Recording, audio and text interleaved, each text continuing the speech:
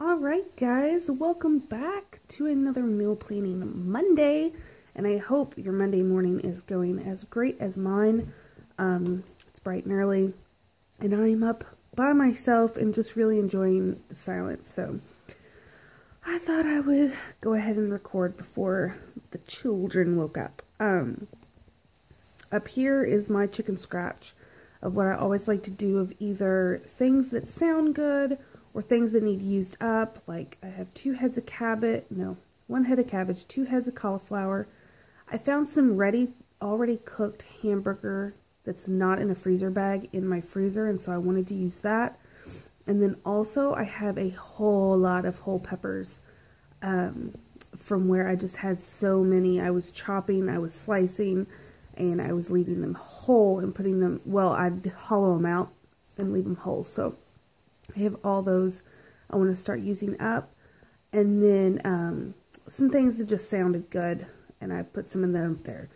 Also, I have to make another ciabatta bread video because I did make one, but I lost the footage of the end. So I am going to make a ciabatta bread at some point this week um, so that I can record it again, which is fine because I can always just freeze it if I don't use it in a meal. Um, they freeze really well. But the one I made this past week, um, because someone had asked for it, it was very good. And I also made an English muffin bread, and I'm about done with the second loaf of that, and it was phenomenal. Phenomenal. It was my first time making the um, English muffin bread. Oh, I can't tell you how delicious that was. Anyway, let's get to meal planning. So, today I have a big day of laundry. I know that sounds exciting. So, I'm going to make it easy and just do a roast in the crock pot. And then this is going to be a roast and onions recipe. Because I still have a lot of onions in excess. So a roasted onion recipe, and I'll probably put some garlic and some different things in it. And I also have some carrots that need used up in my fridge. I forgot to write that down. So I'll throw them in about halfway through because the roast will be frozen. And then with this, I am probably going to do just some roasted cabbage at the end. Just get rid of the cabbage because um, I can put some of the roast juice gravy over that and it'll be delicious. Uh, so there's that. Gotta get rid of that. Tuesday, I am going to make, and now I may pronounce this wrong, but Zuppa Toscana. And it is all from my um, dehydrated stuff. Um, I don't have anything fresh for it except for onions, but I make it all the time with um, my dehydrated stuff. And actually, it may end up being more like my, um, now I can't think of it. It's just a sausage, mushroom, kale soup. I have a video of it. I may turn it into that if I don't have any ground sausage. Um, but right now, this is my plan. I just haven't looked to see if I have any ground sausage, sausage in my freezer.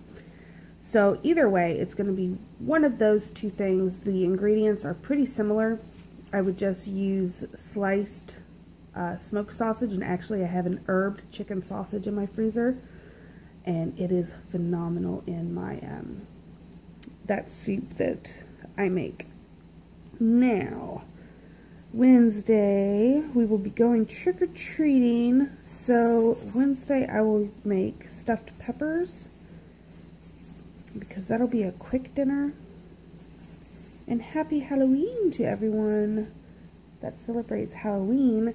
And I'm planning on making the peppers into little jack-o'-lanterns because who doesn't love that?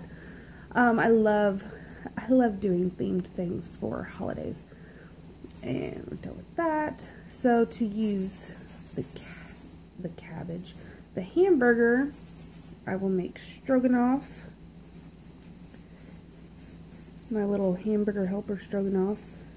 Homemade, of course. Although we used to eat a ton of the box stuff. But when I found how easy it was to make the stroganoff and hamburger macar or cheeseburger macaroni with um, home ingredients, it is so much better. You just can't go back. Uh, let's see. Friday. Let's do some garlic butter chicken. Or it may turn into ranch chicken. Garlic butter or ranch chicken. And we'll put some zucchini noodles with it.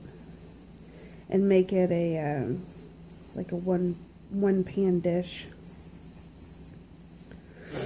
And that should, that should be good. We love ranch chicken. And it is so easy. It's a stick of butter, it's a packet of ranch, and it's in the crock pot. Voila. Or you can um, do it as a sheet pan dish, which is what this will probably be, and I'll put the zucchini noodles on it. Oh, that's Saturday, I want to do cauliflower steaks. And it's with a uh, mushroom gravy. And that has me written all over it, but not my husband. So, we'll probably make hamburgers. And Sunday, well, we'll have spaghetti. Well, if I could spell. Guess I haven't had enough coffee. We are going to have spaghetti. Spaghetti, garlic bread, and that's where I'll use the ciabatta. Just thought of it because ciabatta makes the best, the best um, garlic bread. So, and I make my own spaghetti sauce with my home canned ingredients. so that is my plan for the week.